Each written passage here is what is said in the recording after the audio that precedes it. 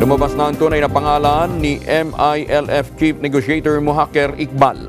Sinasabing gumamit si Iqbal ng pangalang Lubis Abbas bago siya sumama sa unang batch ng 300 gerilya ng Moro National Liberation Front o MNLF na sumailalim sa military, o military training noong 1969. Si Akma Iqbal ay pinanganak sa Dato Udin Sensuat, Maguindanao, kabilang umano sa original MNLF guerrillas na binigyan ng kanilang numdigir sa panahon ng pagsasanay sa Pakistan.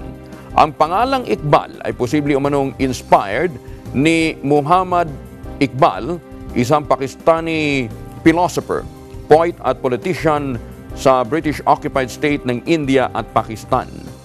Kinumpirma naman ni MNLF spokesman Absalom Cerveza na si Iqbal ay dating MNLF member na sumama kaya Hasim salamat sa pagtiwalag sa mainstream rebel groups matapos na pumayag si MNLF founding chairman Nur Miswari na makipagnegosasyon sa gobyerno.